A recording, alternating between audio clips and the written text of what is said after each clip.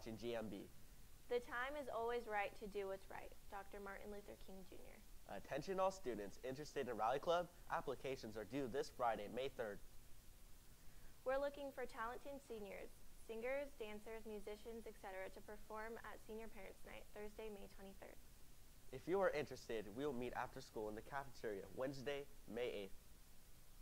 For more information, stop by room 231, Miss Albright.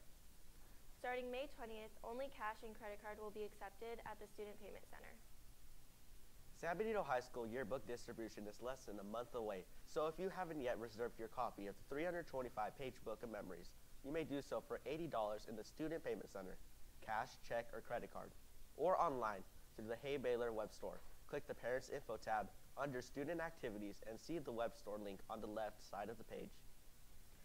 Prom tickets are on sale now in the Student Payment Center. Our theme is Midnight Masquerade.